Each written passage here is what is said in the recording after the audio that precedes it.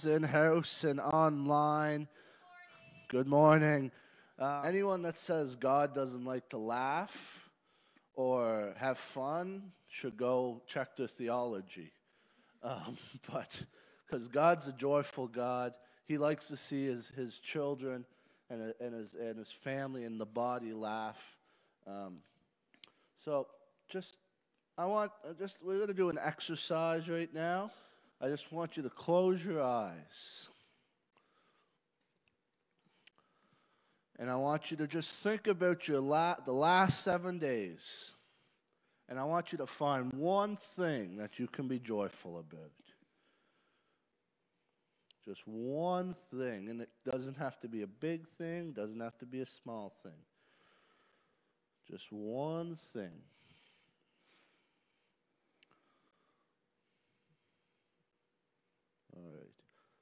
If you want to stand with me, we're going to enter. Ed Moore is going to lead us into worship this morning. Um, so you can stand as we gather and we praise Jesus in the form of worship. So, Father, we just thank, thank you for sending your Son to die on the cross.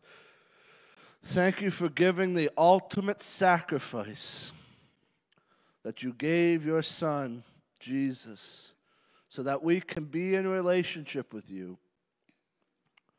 Father, we thank you from your faithfulness for your people since the beginning of Genesis all the way till now, that your promises and your mercy and your grace has always been and will always be. Father, I just invite you into the space right now as we long to see you move.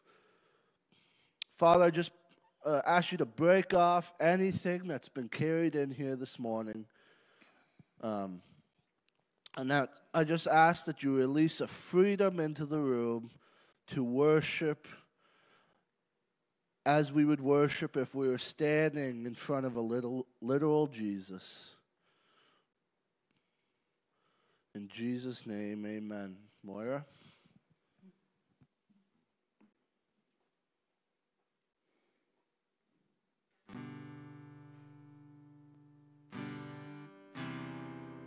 I'm going to read Psalm 46 to you this morning. For the director of music of the sons of Korah, according to the Alamoth, a song. God is our refuge and strength, an ever present help in trouble. Therefore, we will not fear. Though the earth give way and the mountains fall into the heart of the sea, for though its waters roar and foam, and the mountains quake with their surging.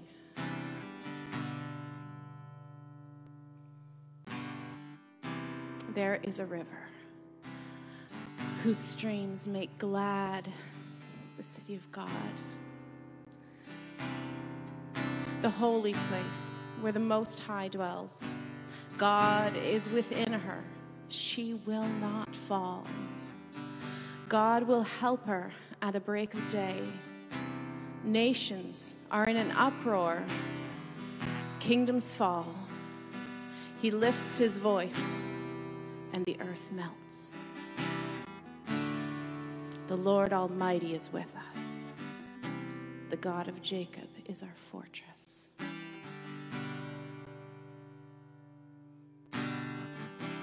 Come and see what the Lord has done the desolations he has brought on the earth.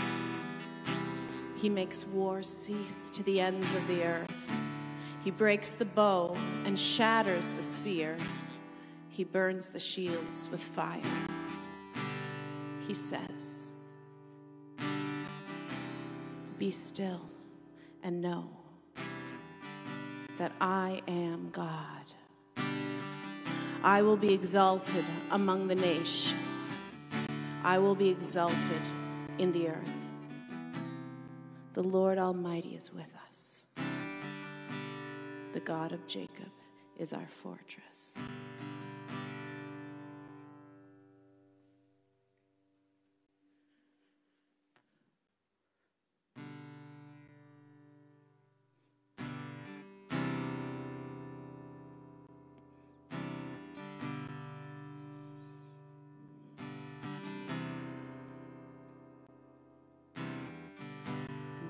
A sound I love to hear. It's the sound of the Savior's robe as he walks into the room where people pray, where we hear praises. He hears faith.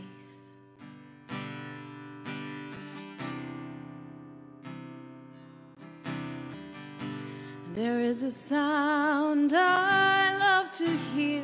The sound of the Savior's robe as he walks into the room where people pray, where we hear worship.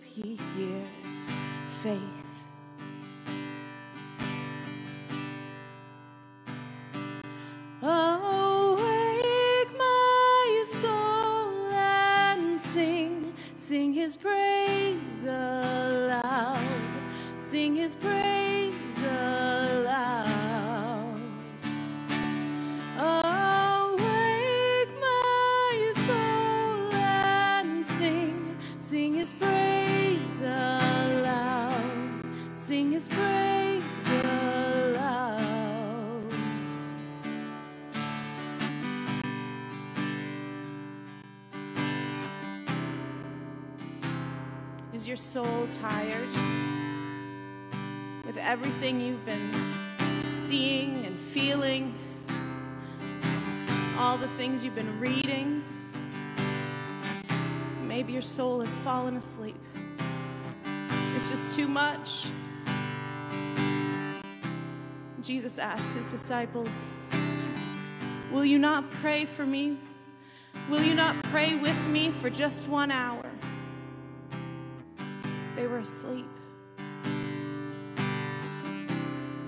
The psalmist spoke to his soul. He said, Why are you cast down, O my soul?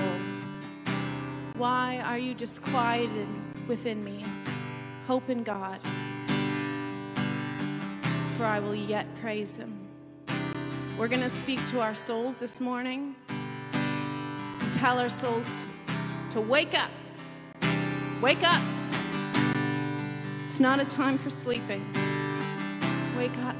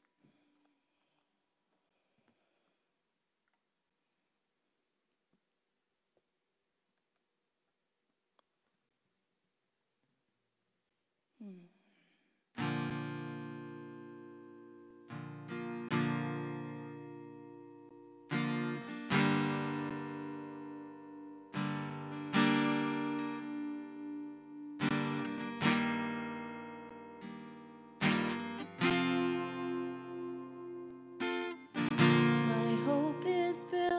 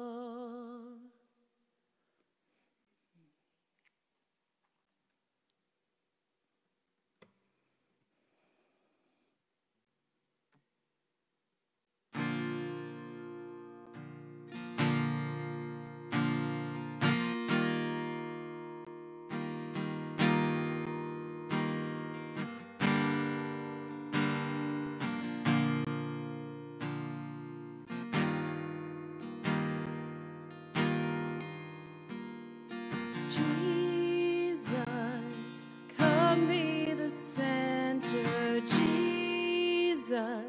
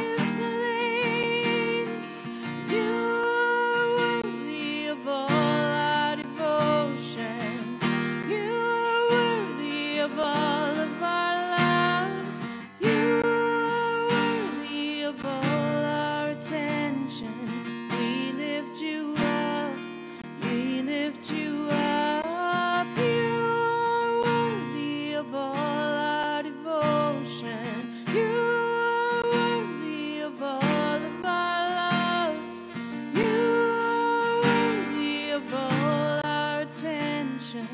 We lift you up. We lift you up.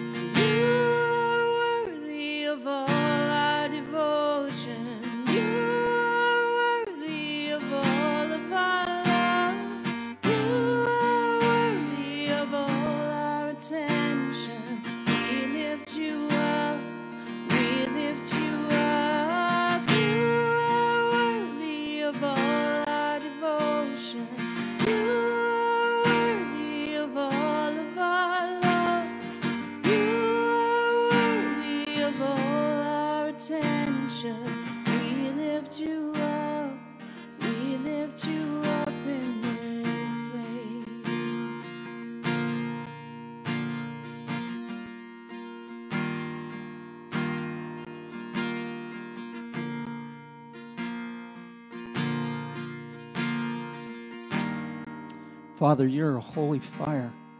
And uh, just as uh, Moses encountered the burning bush, you light the, the bush, the, all the dry stuff that's, that's on us, and it just burns off like dross burning off of gold. And we thank you, Father, that you refine us in worship, that you take us to new places, that we can encounter you. And we thank you, Lord, that you are the center of our lives, that you are the center of our calling, the, the one who makes our destinies pure and right and true. And Father, as we continue to worship this morning, we, we want to lay our lives down and say, We love you, we adore you, we praise you. We thank you for being the King of Kings, the Lord of Lords the one who's called us out of darkness and into the wonderful light of Jesus. Come, Holy Spirit, come. Continue to pray for us, intercede on our behalf as we continue to worship you this morning. In Jesus' name, amen. I'm going to pray for Tracy now. She comes to the front, and if you'd uh, just stretch out your hand towards the front here. And Father, we gather around our sister, knowing that she's worked hard on this uh, message and that uh, you've been tilling her heart. You've been preparing uh, her all week long uh, for this message. And Father, we ask that you would rake our hearts right now and prepare us to uh, receive the seed of life that comes from the Word of God. And we thank you, Father, uh, for the things that you've planted inside our sister. And we pray that they come out with clarity now and uh, that there would be a forthcoming of the truth that's about to be shared into our hearts. In Jesus' name, amen. Amen. Thank you, Andrew. Good morning, everyone. Morning. Good to see all of you. Well, this morning, um, God has put a message on my heart on forgiveness. And this is a big journey, an important journey to walk through. And so uh, I'm going to take you on the journey that God has been taking me on over this last year. And I've entitled my message, Forgiveness Following the Way of the Cross. And we've entered the season of Lent as of Wednesday. Wednesday was Ash Wednesday. Um, we now are in the preparation for Easter. And so, over the next six weeks, it's an opportunity and a time for us to prepare our hearts for Easter. And it's a time for us to seek and grasp the sufferings of Christ and to understand just how deep God's love is for us. And the Summerside Christian Council, which is made up of the churches in Summerside, is actually hosting a weekly Lenten devotional series by local pastors and reverends. And the focus will be on the seven last words from the cross. And this started this past Friday, and it will go until Good Friday, which is April 2nd. And I just want to encourage you to check it out and just hear these reflections and devotions. Uh, and you'll find it on our Facebook page. And the seven last words from the cross are often used in Lenten practices to help us reflect on the sufferings of Jesus. And so I thought the first word from the cross, which, which is in the order that they chose, Father, forgive them, for they know not what they do. So, forgiveness would be a great start for us during this time of Lent as we prepare for Easter. So, in our world today, there is a much larger pandemic than COVID, and it's anger and hatred. Our culture takes justice and judgment into its own hands, but without God's wisdom and in reality, this is not new. Life in the world hasn't changed. It's really the tree of the knowledge of good and evil. And if you think back to Genesis, in the Garden of Eden, the serpent the devil, basically said to Adam and Eve, Well, you can't trust God. He's holding out on you. Don't you know that you can become like him and know good and evil? All you have to do is just eat the apple. That's all you have to do. So Adam and Eve chose not to trust God. Instead, they believed Satan, the deceiver, and wanting to be like God, they wanted to know good and evil. The reality is, created beings cannot be God.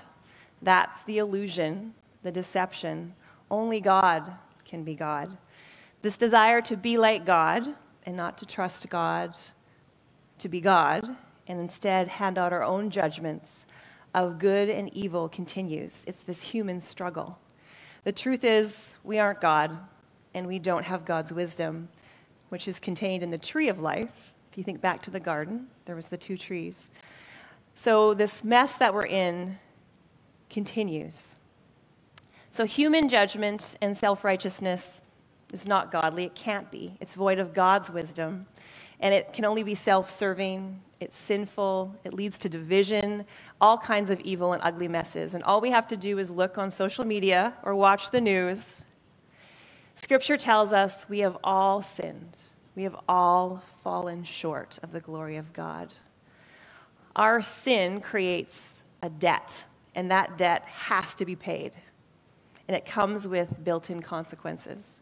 The debt collector wants to collect, and he won't stop hounding you on your own, you can't pay that debt. So you're going to prison. The illusion, the deception, is that we think we're in control.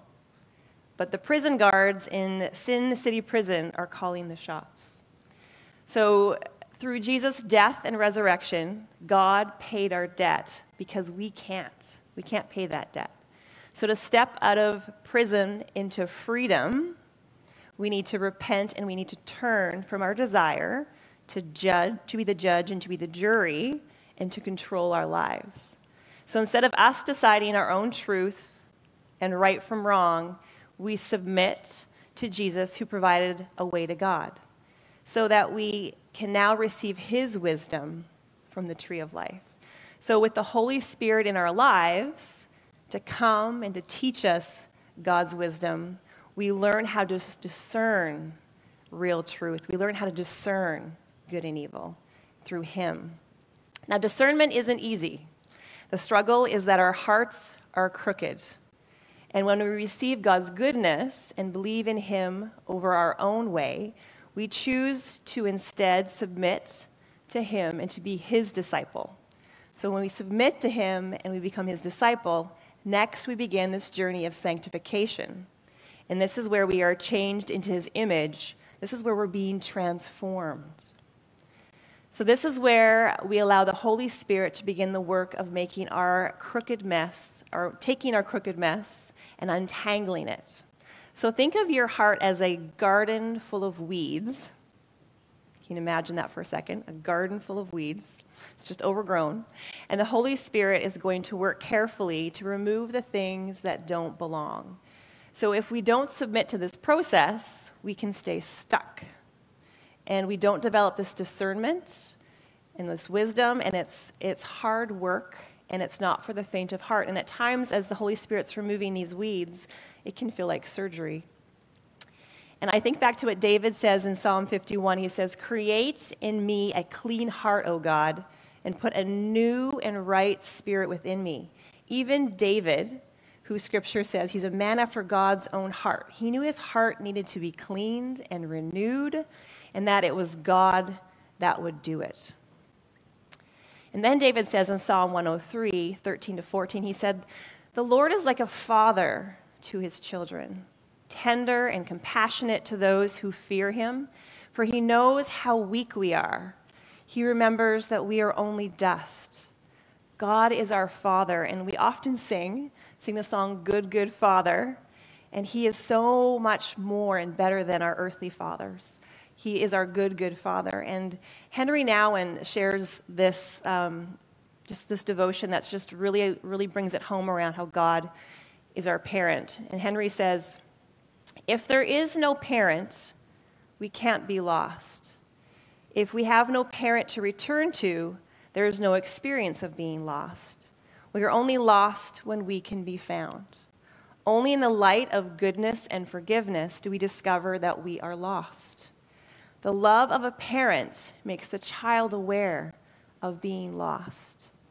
The older son in the prodigal son story doesn't consider himself lost until he's confronted with this love expressed by the father on his prodigal brother's return.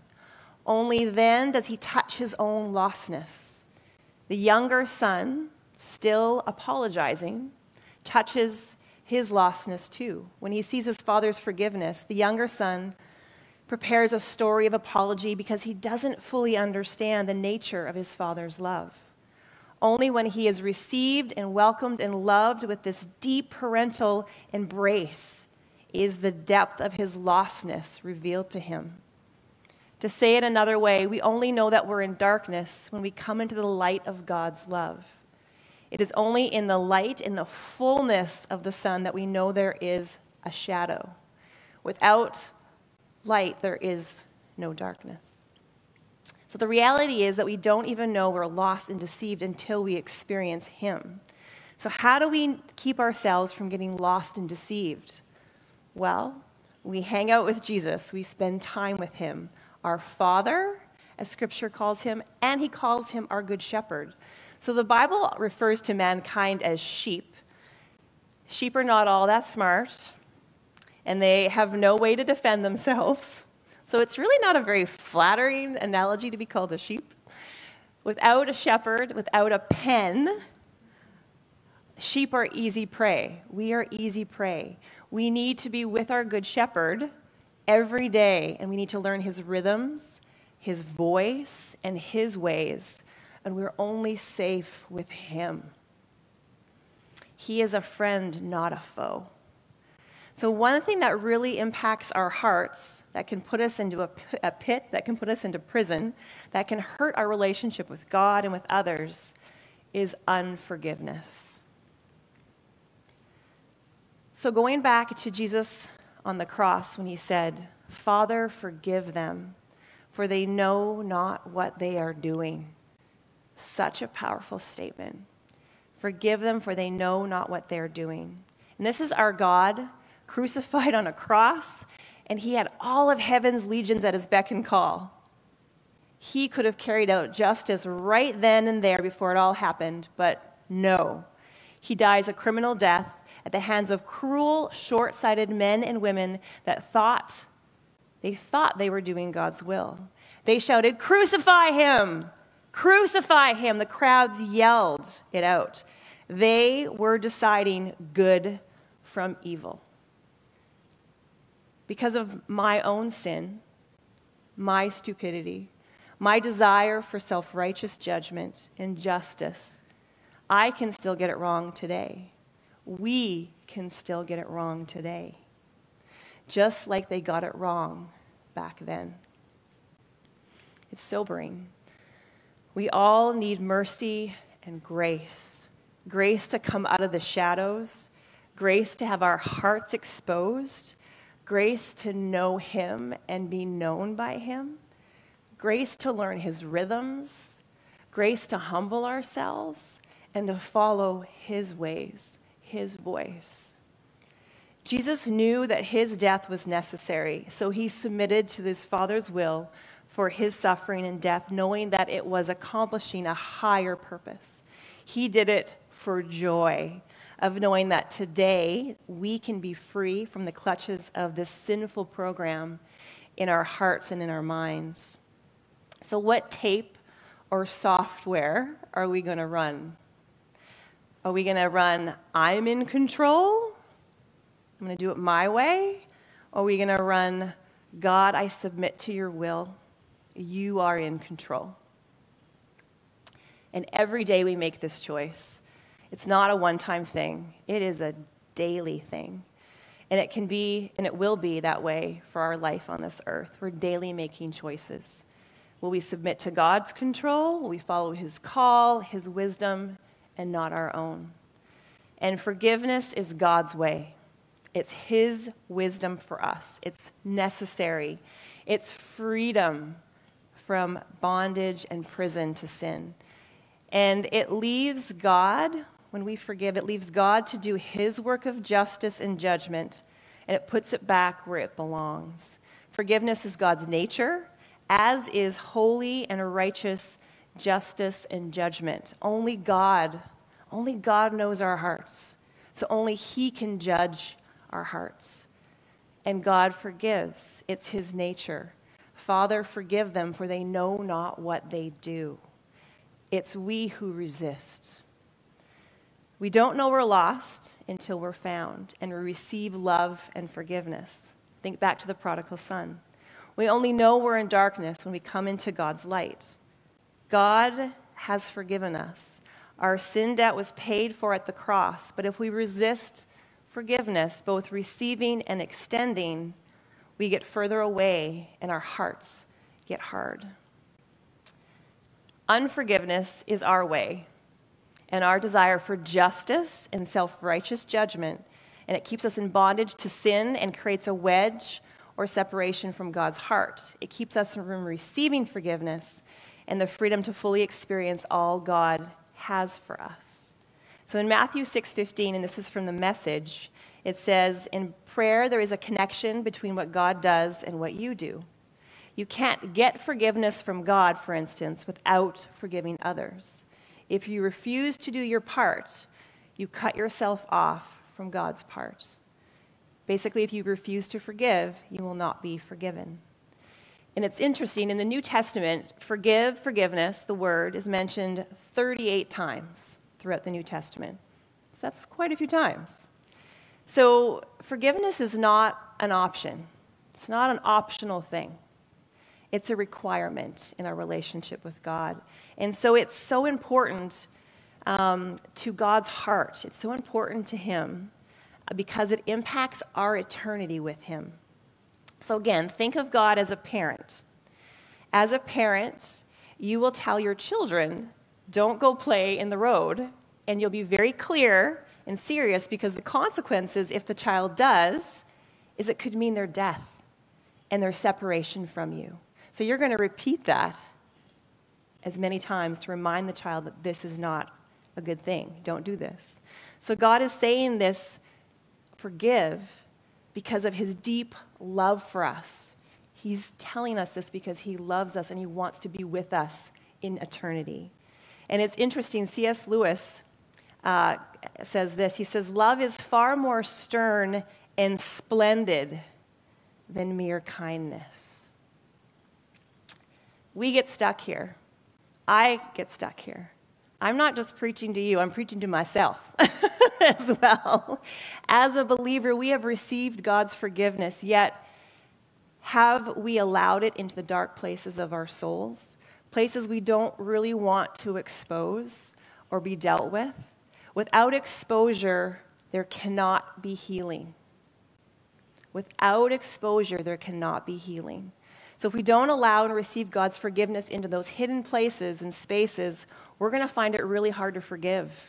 We're going to find it hard to go deeper with God. We're going to struggle with getting free from things like anger, addiction, whether that's sexual, food, alcohol, drugs, work, etc., unhealthy ties to people or family, even physical illness. So, are you carrying unforgiveness today that you're not meant to carry, either for yourself? in an area I mentioned or towards someone else. And as Christians, we need to look at forgiveness from a spiritual place. So, your soul, which is the seat of your mind, your will, and your emotions, doesn't have the capacity to forgive. Forgiveness comes from your spirit, which is God's wisdom, conscience, and communion, which is union with God. So, our soul, when it comes to forgiveness, our mind, we analyze, well, what's right and what's wrong, and our bias gets in the way. Our will says, I want them to learn a lesson, I want my justice. And our emotions, anger, wants to lash out and punch or make them pay. So, our soul hangs on to pain. Our spirit's response is, what does God, what does God say about this? And it turns to Him first. And this takes this takes practice and discipline to go to God first, because oftentimes our emotions come up and we just want to lash out. So we've got to decide to, to, to shift and turn to God. And as we turn to God and our spirit, where God resides, we recognize, well, there's a hard heart here. The Holy Spirit is grieved by the actions of this individual or circumstance. They don't need any more anger heaped on them. So you begin to feel the love of God's heart, and you begin to see things from God's perspective, and you have a choice. Well, I choose my soul, anger, judgment, and I hope I get what they deserve, which puts us in this prison. Or will I choose my spirit? I choose God's way of love and forgiveness because I have been forgiven, which leads to freedom. So we go back to just that David psalm, Psalm 51 Create in me a clean heart, O God, and put a new and right spirit within me. God, search our hearts and speak your truth and love this morning.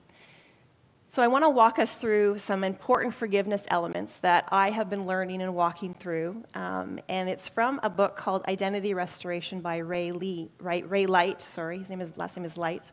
And he has this short and powerful teach I want to walk us through. And then we're actually going to do an activity together. So, we're not just going to learn about forgiveness today in our heads, we're going to have an opportunity to step into what it means to forgive and to receive forgiveness. So, as I shared, forgiveness is a key element to a lifestyle of freedom and healing and hope.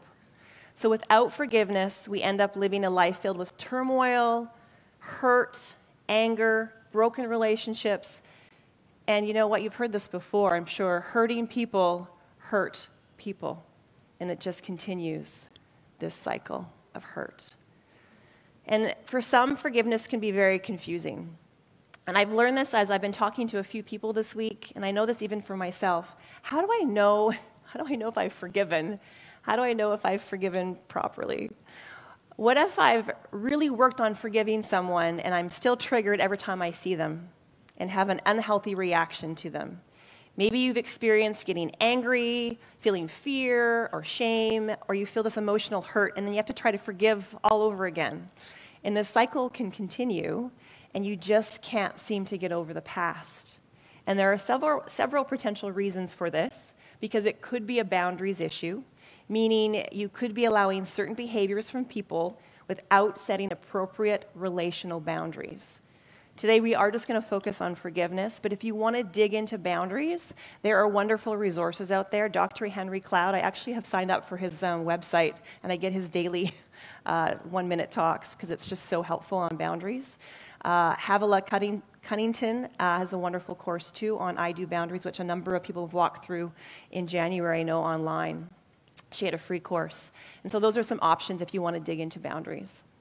So, for forgiveness, we're going to dig into that today. One of the potential reasons for a forgiveness cycle can be that I'm trying to figure out how to forgive because I really want to, but I could be engaging in a practice of self righteous judgmentalism instead of forgiveness.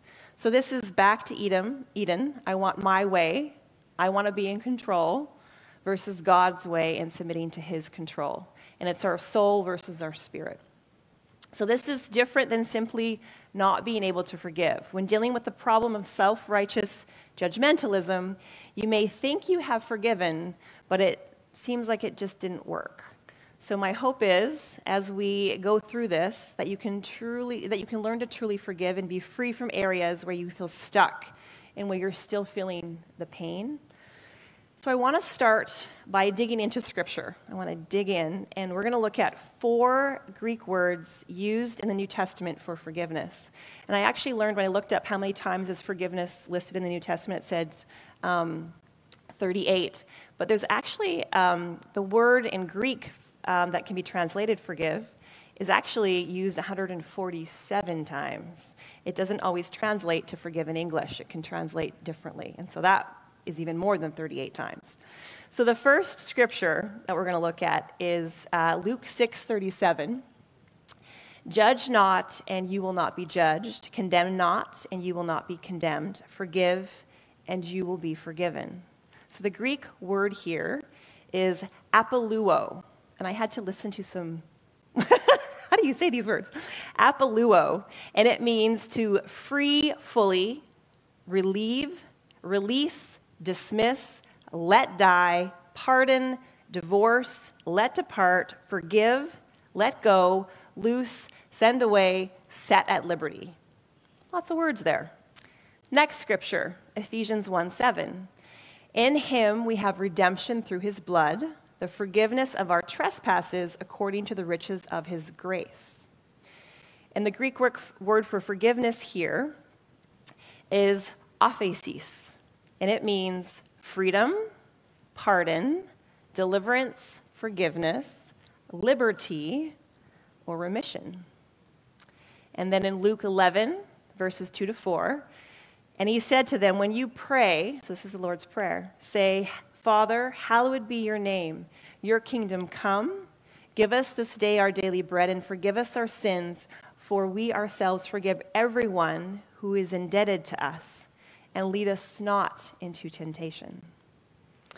And the Greek word for forgive here is aphiemi, and it means to send forth, cry, forgive, forsake, lay aside, leave, let alone, let go, let have, omit, send away, remit, suffer or yield up.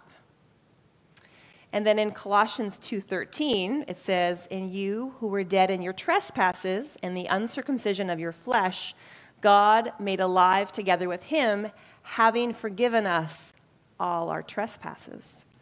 And this Greek word is, this is where I had to practice my ha. it's, um, oh my goodness, no, I'm not going to say it. Uh, it's har ezedum, har ezedum, um, and it means to grant as a favor, gratuitously, in kindness, pardon, rescue, deliver, forgive, freely give, or grant.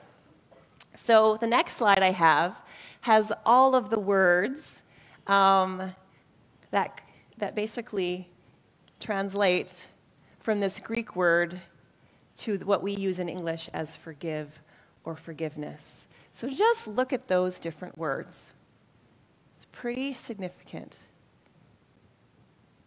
Our English language doesn't always take in the vastness of the meaning of some of these words.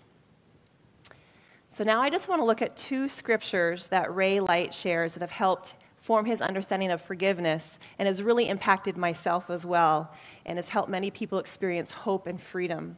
And Ray does inner healing work and identity restoration work.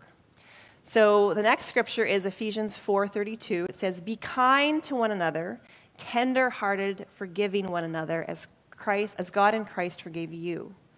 And then Colossians 3:12 to 13, Put on then as God's chosen ones, holy and beloved, compassionate hearts, kindness, humility, meekness, and patience, bearing with one another, and if one has a complaint against another, forgiving each other as the Lord has forgiven you, so you must also forgive. Now, these two scriptures seem to express that we forgive as the Lord forgave us. This is different than forgiving because the Lord forgave us. Yes, there's a difference here. That concept is covered in other scriptures. The Lord forgave because, forgave because, sorry, forgive because the Lord forgave us. But when you say forgive as the Lord forgave us, there's a difference here. I don't know. As, the Greek word as here is kathos, and it means just as, in as much, according to, even as, how. So if you add those, all those words together, this is how the scripture would read. So, as God's chosen ones, holy and beloved, put on compassionate hearts, kindness, humility, meekness, and patience. Bear with one another and be kind and tenderhearted to one another. If one has a complaint against another, forgive one another just as, inasmuch as, much as according to, even as, and how God in Christ forgave you, so you must also forgive. Whew.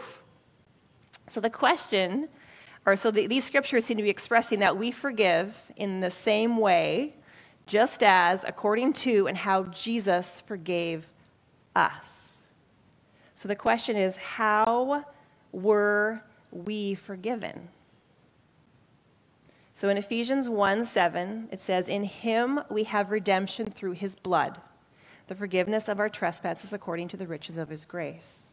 Matthew 26, 26 to 28 says, Now as they were eating, Jesus took bread, and after blessing it, he broke it and gave it to the disciples and said, Take, eat, this is my body.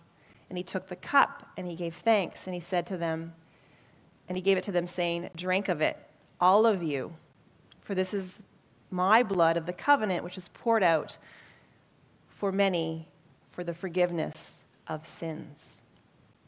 The redemption and forgiveness we have through the shed blood of Jesus, which is poured out on the cross according to the riches of his grace. Jesus being crucified is how we are forgiven.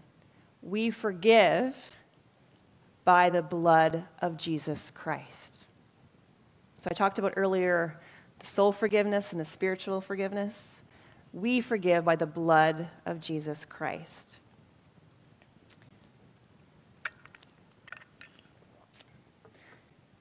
So now I want to look at the difference between forgiveness and self righteous judgmentalism. And I call this false forgiveness, and I've got two. There's two false forgivenesses that we can get stuck in. One is trying to use understanding to stir up compassion so we can forgive is part of the reason why it seems like forgiveness doesn't always work. We don't need to know how the individual that hurt us was hurt themselves or why they did what they did. Understanding is not part of the forgiveness process. The forgiveness that Jesus shows us is not circumstantial. If you look at what process really is, you will find that what is happening is not forgiveness at all.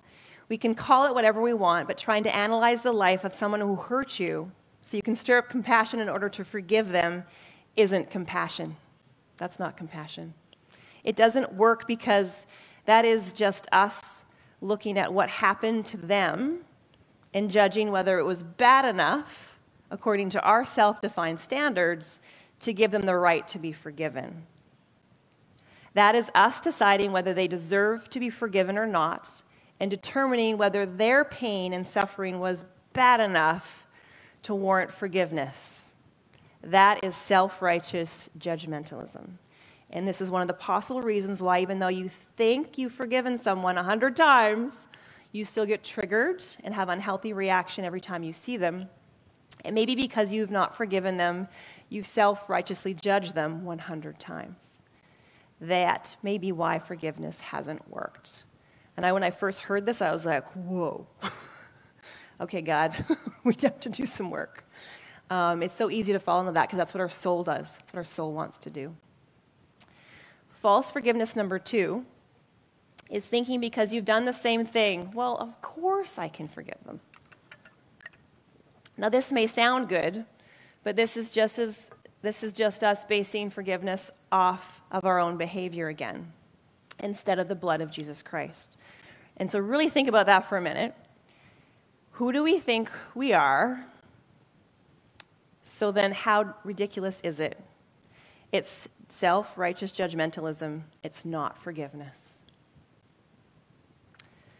So adding to the problem with these false forms of forgiveness is that both require some sort of intellectual filing system to manage all this information. There's a burden that comes with self righteous judgmentalism because we are deciding that we're the judge and jury.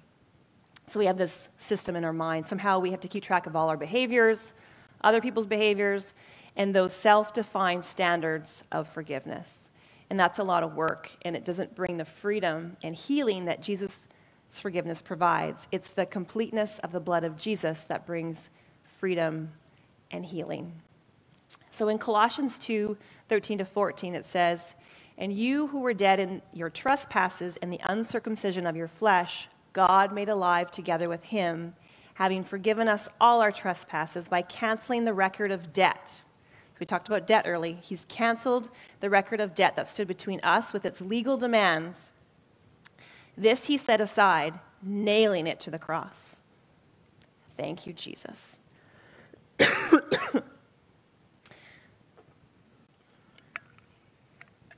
so, what about when we won't forgive, or we think, I just, God, I just can't forgive in this situation. What about that? What about that pain? Jesus allowed himself to be crucified on the cross to cancel the debt for our sins. So, for some reason, though, we tend to have some debts that we just can't or will not release. So, let's look at some scriptures here. Um, and let's go back to two of the scriptures we looked at, remembering the Lord is asking us to forgive as he forgave in his blood, not on our own strength. So Ephesians 4:32 says be kind to one another, tender-hearted, forgiving one another as God in Christ forgave you. Colossians 3:12 to 13 put on then as God's chosen ones, holy and beloved, compassionate hearts, kindness, humility, meekness and patience, bearing with one another, and if one has a complaint against another, forgiving each other as the Lord has forgiven you. So you must also forgive. I think one of the aspects for forgiving is allowing our old selves to be crucified with Christ, to release the debts we believe that people owe us. Now, let's be clear I'm not suggesting that we should be other people's saviors. We are not to be other people's saviors. That's, that's God's role. What I'm suggesting is that we truly believe the good news and allow our old self to be crucified with Christ. Galatians 2:20 Paul says, "I have been crucified with Christ. It's no longer I who live, but Christ who lives in me, and now the life I live in the flesh I live by faith in the Son of God who loved me and gave himself for me." And then he says in Galatians 6:14, "Be but far be it from me to boast." except in the cross of our Lord Jesus Christ, by which the world has been crucified to me and I to the world. So by faith we are crucified with Christ. It is no longer we who live. It is no longer we who live. It is Christ living in us. We have been fully crucified to the world. The world has been fully crucified to us. We are no longer that old self. We no longer need to hold on to those old, dead debts of the world. If we have been crucified with Christ to the world, the world has been crucified to us. It is no longer we who live, but it is Christ who lives in us. Then who owes us anything? Who owes us anything? So our inability or unwillingness to forgive is based on a lie and there are many variations of the lies the enemy uses to poison us with unforgiveness. Yes, we have been wounded, and I am not discounting the experiences and the emotional hurt of those woundings. However, these lies are just a rejection of the work of Jesus Christ on the cross, and He wants you to be free. He wants you to be free. And sometimes we don't even know what those lies are, and we don't want to accept that they are lies. The truth is, it is absolutely possible to forgive everybody for everything that we are still hanging on to. Our God does. So, covered in the blood of Jesus, so can we. So, with this in mind, 2 Corinthians 2 10 to 11. Anyone whom you forgive, I also forgive. Indeed, what I have forgiven, if I have forgiven anything, it has been for your sake in the presence of Christ, so that we would not be outwitted by Satan if we were not ignorant of his designs. He would want us to stay in our pain, he would want us to stay in our prisons, he would want us to stay trapped. But Jesus says, I want you to be free, and there is hope. Submit to me. Now, Ray Light shares that based on scripture, he intentionally allows himself to be aware of the presence of Jesus whenever he's forgiving someone. And applying this has helped him find out if there's a lie in the way of extending forgiveness. Just asking Jesus to be with us when we forgive. Forgiveness in the presence of Christ through the blood of Jesus by the power of the Holy Spirit, not on our own strength allowing the old self to be crucified, thereby canceling any debt owed to you, this will transform your life. And incorporating these principles into your life will allow you to easily forgive and be set free from the burden of unforgiveness. And that's what it is it's a burden. And Galatians 5 says, 5 1 says, For freedom, Christ has set us free. Stand firm, therefore. Stand firm and do not submit again to a yoke of slavery. Unforgiveness is slavery. So now that we've looked at the principles of forgiveness, we can apply them to any areas where we have intentionally not forgiven or where we have self righteously judged instead of forgiven. And so today, like I mentioned, we're going to have the opportunity to release any of the unforgiveness, hurt, self righteous judgment, and filing systems we have been using. And so um, we're going to engage our hearts this morning. And you can engage with as much as your heart is ready to. And I'm going to invite um, Ruth Plester to make her way up here. Um, she's going to help me walk us through this process of forgiveness. And your heart doesn't have to do anything it doesn't want to. It still may not be ready to forgive. And if that's the case, I would recommend having patience for yourself and seeking trusted help. But this is what we're going to do we're going to allow ourselves to be in the presence of God as a community together, acknowledging any unforgiveness and repenting from self righteousness, uh, self righteous judgmentalism, releasing any false standards and filing systems. We're going to forgive and we're going to receive the truth. And so I'm going to invite Ruth up, and I believe the mic is perfect. Over here. Thank you. And we're gonna we're gonna we're not just gonna hear the word today. We are going to we're going to do the word today. So I'm gonna hand the mic over to Ruth, and she's gonna walk us through this, and then we're gonna follow it by communion.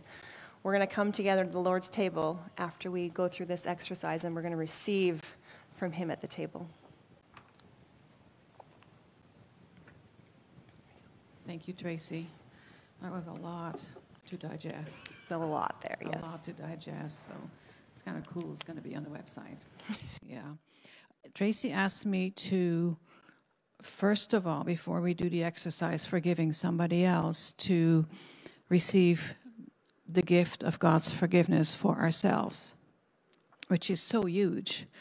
And it, when she asked me, I was reminded of um, what happened to myself quite a number of years ago when I was in ministry school and I was trying to receive the revelation of the cross, not just in my head. I, I always know Jesus died for my sins. I know it in my heart. I believe it. But I, I wanted it to go so much in my core that I would wake up in the morning and know it, just like I know that two plus two is four and the sky is blue. And I just couldn't get it. And so there's one day in ministry school, everybody was super excited about Jesus, and I just sat there and I, I said to Jesus, I, I will always love you, but I, I need you to give me the revelation because I, I can't get it. And I burst out crying, and I ran out of school and I went home. and um, a couple of days later, I was invited to a workshop a lady was giving a worship. There was about six of us. And after the worship, she prayed for me. And she put her hand on my back and she broke off the spirit of punishment. I was like, oh, that's interesting. I've never heard of that before. It was probably two days after that that the revelation of the cross came that even I have been forgiven for the things that I did wrong. I always thought I, I didn't deserve to be forgiven. All of you are, but not me. And I don't have to earn it, I can't work for it. It's a free gift. And that's, that's when everything changed for me with Jesus. It's a free gift. So if you resonate with this, would you mind if I just pray for you? if in any way you feel you don't deserve it, that we can break off this spirit of punishment or the lie that you have to work for forgiveness? Would you, would you mind putting your hand on your heart with me? So, Holy Spirit, I ask you to come here in the building, online, and ask you to come with your power and your might and your love and your compassion and your gentleness. And I ask in the name of Jesus that you break off the lie that we have to earn our salvation and that we have to work for it and we work for forgiveness. And I break off the spirit of punishment of each and every one of us. In Jesus' name. Thank you, Jesus. And with that, before we forgive someone else, the hardest person to forgive is yourself. But it's imperative, it's a command. That's what he died for. He died for you. He died for all of you, not just your sins. He died for all of you. So, I'd like you to think of some things in your head that you're not proud of, or some mistakes that you made. You can even write them on a piece of paper in your head if you're a visual person.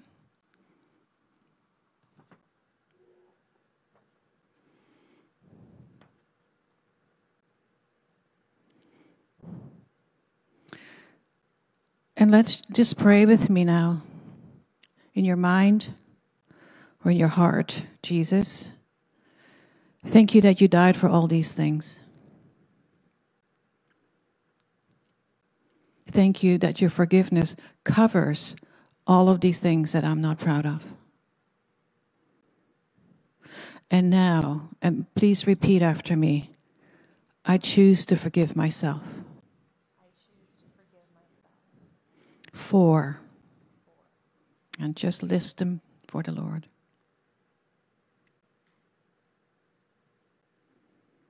And I bless myself. And I release myself from all the harm done to me.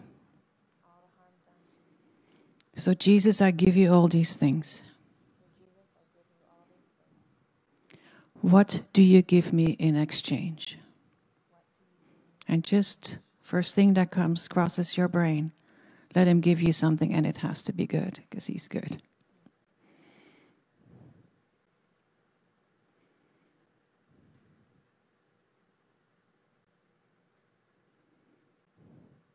If you don't get anything today, He will give you something maybe later today or tonight.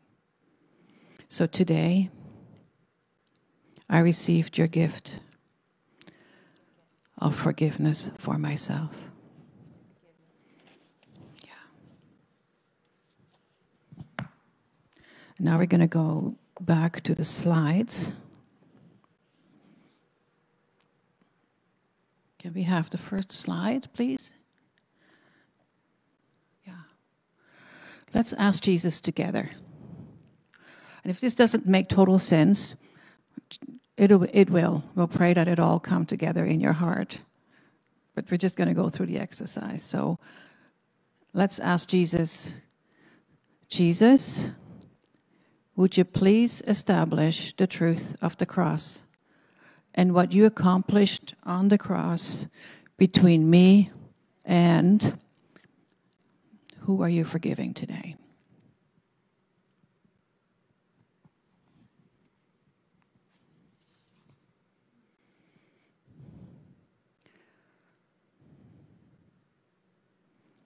And now that we have acknowledged God's presence and the truth of the cross right there in your heart, let's repent from any self righteous judgmentalism. Let's ask God Are there any false standards of forgiveness I have established in my heart. And I will add Are there any misconceptions or preconceived ideas in my heart about forgiveness?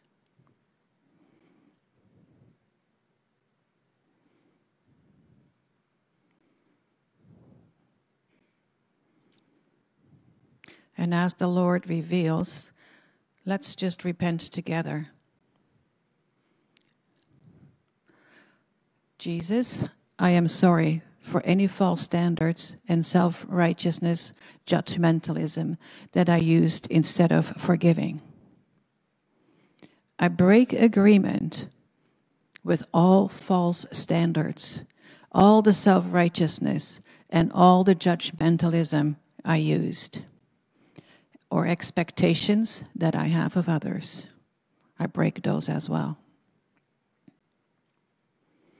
And now I release to you all of that information, all the ways I kept track of that information, and all the ways I gathered that information. I just give it all to you. Just pretend it's a balloon and you let it all go, and it goes up and it disappears.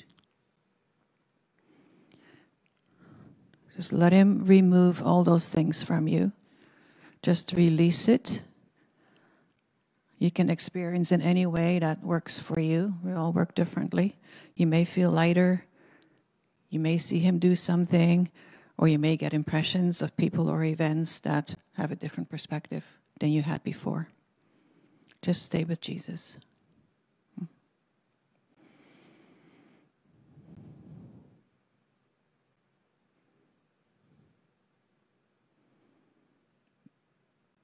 And as always, when we let something go, He gives us something in exchange, and it's always an upgrade. So let's ask Him Holy Spirit, is there anything you would like to give me in return?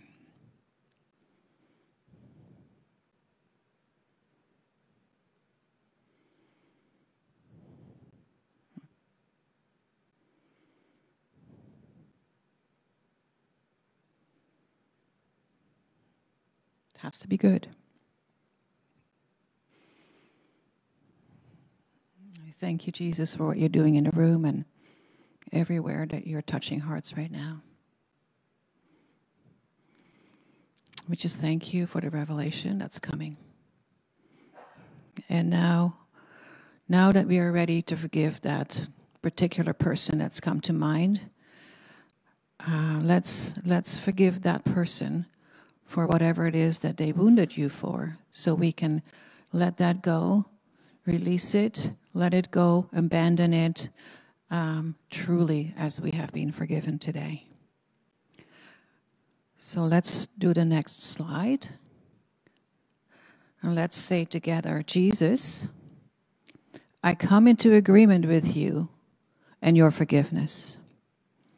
And I completely forgive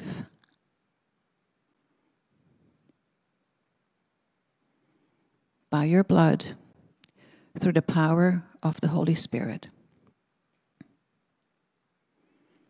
I choose to release them completely, and I agree that they owe me nothing, and I bless them. Just follow the lead of the Holy Spirit and forgive and release as much as you need to. Just take your time.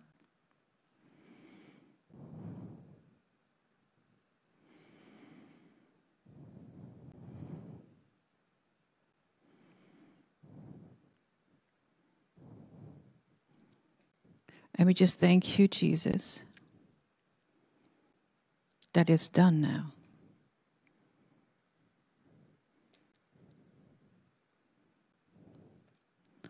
So, Jesus, before we finish up, is there anything you want me to know today?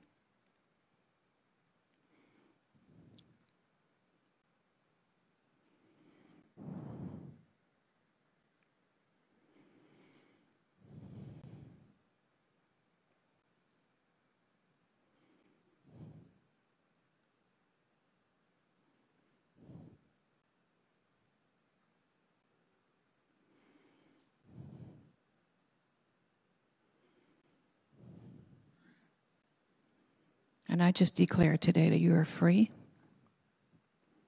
in His presence. You are free to take His hand and walk into the future because there's no circumstance that there's no solution for. Because He has got the whole world in His hands, even when it doesn't look like it. So we seal this message and this application. And I just ask you, Holy Spirit, that you made make this real in our core over the next while. In Jesus' name. Amen. Amen. Thank you, Ruth. Holy Spirit is so gentle. I'm going to call up Moira. Um, and to part of sealing this is we're going to take communion together. And so, for those of you who are serving communion this morning, if you want to head to the tables, there's a table on either side of the room. And uh, so, we're just going to worship together and just soak in the presence of the Holy Spirit. Moira has uh, prepared a song called Communion uh, for us so that we can just really just receive His love and His forgiveness this morning and just come to the table together and partake of his, of his body and his blood and remember what he did for us. Uh, and so, if you would stand, um, and I'm going to just release you to go to the tables, and Moira's going to begin our worship as well. And when we all come back together, we're going to partake together.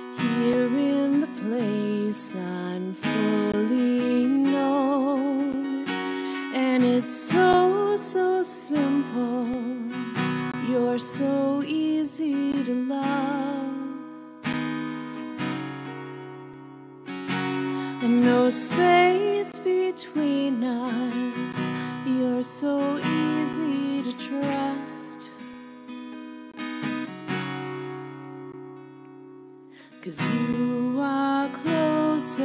closer, morning,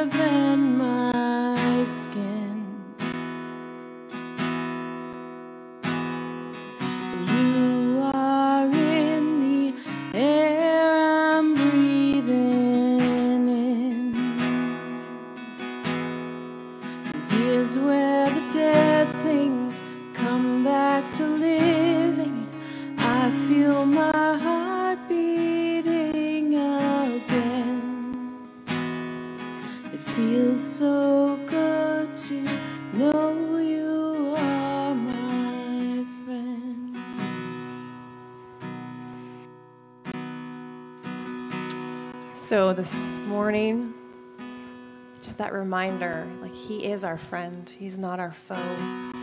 And we are invited to the table. And so, um, just even to imagine you're at the table with Jesus and his disciples. You are invited there, you are welcome there, you are wanted there.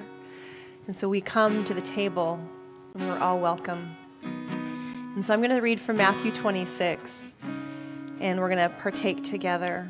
So now, as they were eating, Jesus took bread and after blessing it, broke it, and he gave it to his disciples. And he said, Take, eat. This is my body. Let's partake together.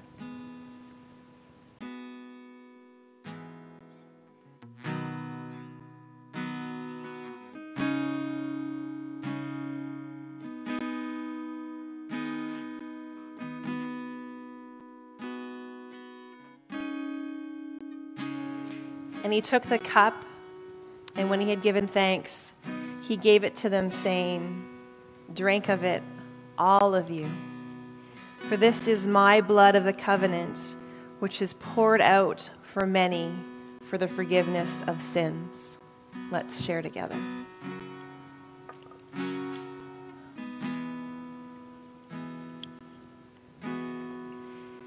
So, Father, we just we thank you for your forgiveness.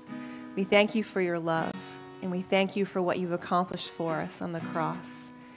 And we're so thankful, Father, that we continue to grow and learn, and that this is a journey, and that there is hope in the journey, and that there is freedom in the journey, and that we just keep um, seeking your kingdom first, and all these things will be added to us, Father. And so we thank you for your hope and your promises this morning. In Jesus' name, amen. So we're going to sing together with Moira, uh, and then I will come up and we'll close the service after.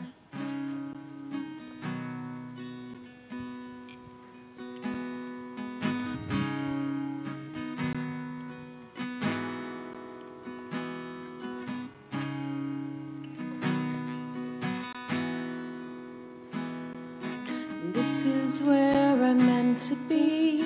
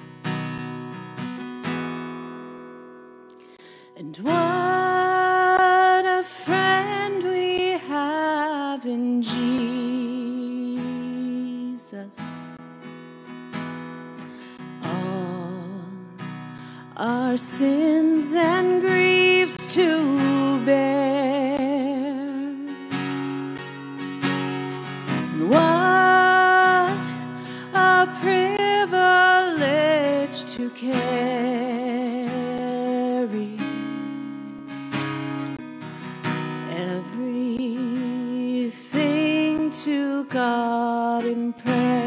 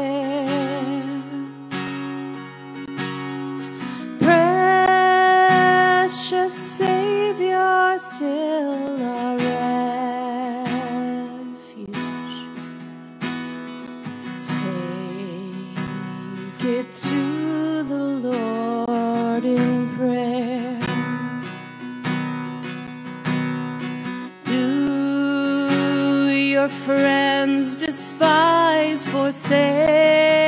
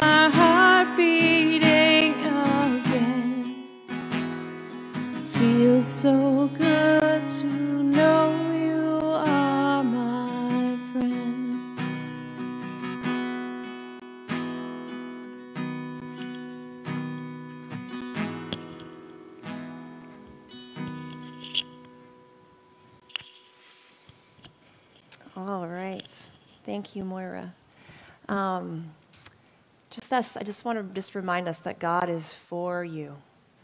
He is for you this morning. And He sees you and He loves you and just wants you just to receive His gifts for you as you go into your day. And so I just want to sign off online um, and just say thank you so much for being with us this morning.